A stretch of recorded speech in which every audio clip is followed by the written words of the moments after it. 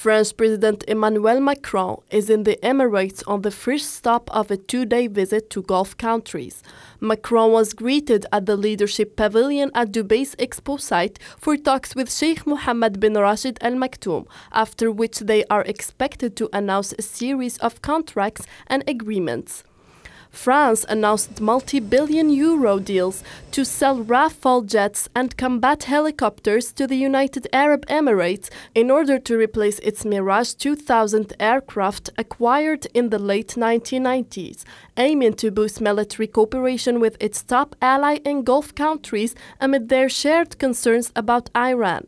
The United Emirates is buying 80 upgraded fighter warplanes in a deal the French Defense Ministry said it's worth 16 billion euros and represents the largest ever French weapons contract for export. It has been also said that the two made another deal concerning 12 Airbus built combat helicopters. France doesn't really have a huge capacities that other countries have in order to be the United Arab Emirates' main strategic ally.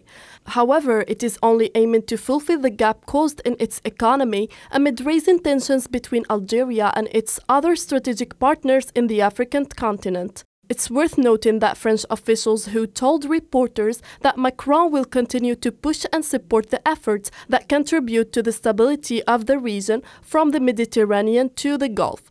They also said Gulf tensions will be discussed, in particular the revived talks about Iran nuclear deal with world powers after President Donald Trump removed the US from the agreement. Gulf countries have long been concerned by Iran's nuclear ambitions and influence across the region particularly in Iraq, Syria, and Lebanon.